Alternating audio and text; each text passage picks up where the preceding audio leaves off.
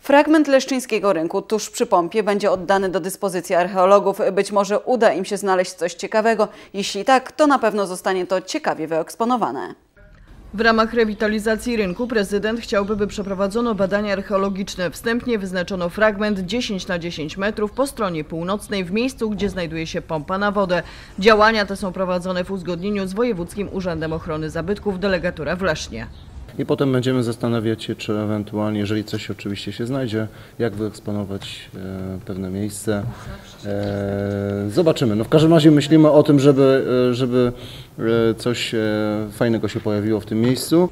Badania archeologiczne będą prowadzone także w ramach modernizacji ulicy Bolesława Chrobrego.